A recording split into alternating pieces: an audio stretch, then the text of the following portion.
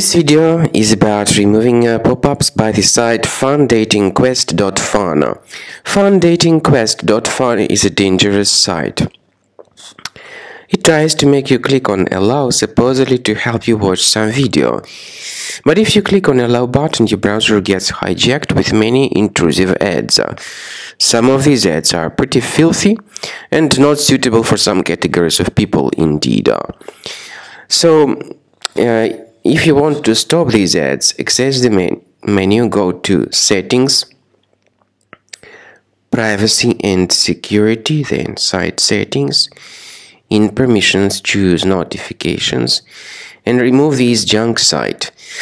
Finally, I recommend you to research your system with Combo Cleaner.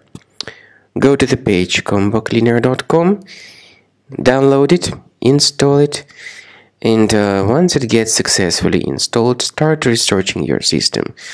So Combo Cleaner will help you to detect and remove other threats from your device. After you have successfully downloaded and installed Combo Cleaner antivirus, uh, the program is initially in the trial mode so only quick scan option is available uh, by the way I forgot to mention that Combo Cleaner is uh, available for Windows computers, for Mac computers, and uh, for um, Android devices too. This information is uh, clearly seen on the official website, uh, which is uh, combocleaner.com.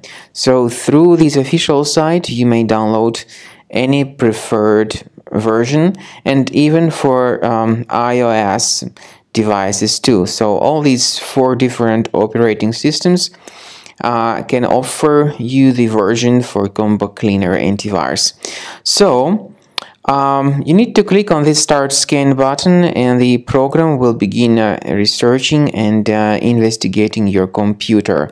First of all, the software will update its anti-malware database which is definitely essential for proper detection and removal of any malware. Uh, so don't skip the update procedure, wait until the scanning has been successfully accomplished.